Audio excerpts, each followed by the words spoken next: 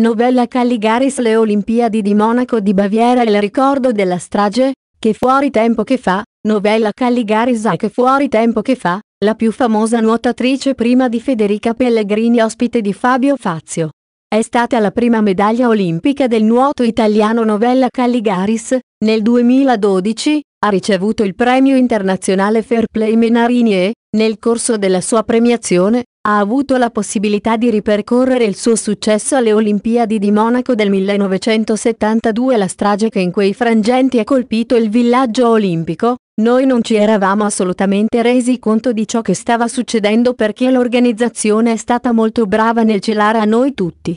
Noi ce ne siamo resi conto quando siamo arrivati in Italia, avevo trovato una grandissima folla di giornalisti, dicevo forse sono appunto per i successi ottenuti, Invece la prima domanda fu proprio per quello che stava succedendo, ha rivelato infatti l'atleta, che a un passo dal luogo della strage non è riuscita a comprendere fino in fondo ciò che stava succedendo, la palazzina dell'Italia era vicina a quella di Israele.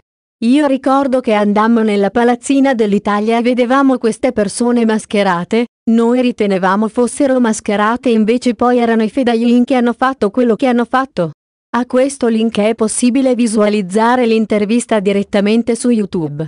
AGG di Fabiola Giuliano. I primi successi novella Calligaris oggi sarà ospite di Che fuori tempo che fa. L'ex campionessa di nuoto, diventata poi giornalista, verrà intervistata da Fabio Fazio. Lei è la donna che ha dato una svolta epocale al nuoto italiani, prima che arrivassero Rosolino, Fioravanti, Pellegrini e Paltrinieri, è stata la prima italiana a vincere una medaglia olimpica nel nuoto.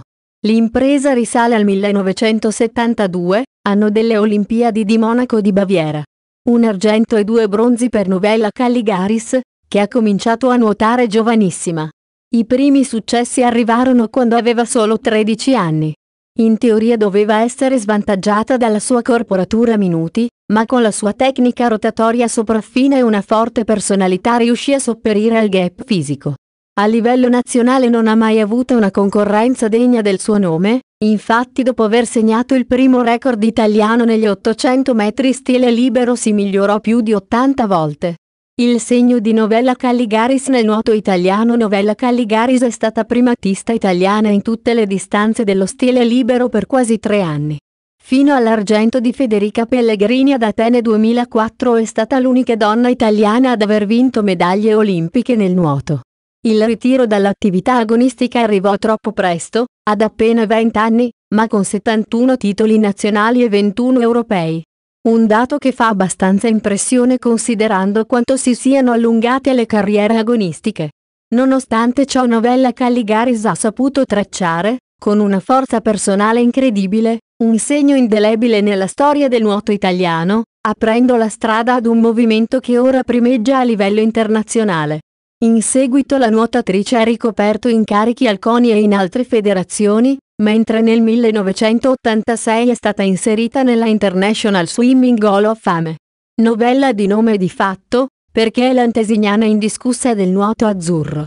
I paragoni con Federica Pellegrini Quando è esplosa Federica Pellegrini è stato inevitabile il confronto con Novella Calligaris. Fede ha dimostrato di non essere una sognatrice. Ha quella consapevolezza nei propri mezzi che io non avevo, dichiarò all'epoca l'ex campionessa di nuoto. Provo una grande gioia, forse, se una campionessa come lei fosse spuntata 4-8 anni dopo di me, sarei stata un po' gelosa. Ma ho dovuto aspettare 32 anni, Federica potrebbe essere mia figlia, aggiunse Novella Calligaris, come riportato dalla Gazzetta dello Sport. Con testa e carattere ha dimostrato di poter arrivare ovunque. E in effetti così è stato. Nonostante il ritiro prematuro, Novella Calligaris non si è mai persa una gara, un'Olimpiade, un mondiale o un europeo in vasca lunga, essendo rimasta molto legata al nuoto. E così per lei e tanti appassionati di nuoto e nuotatori stessi. Per quest'ultimo è infatti un punto di riferimento importante.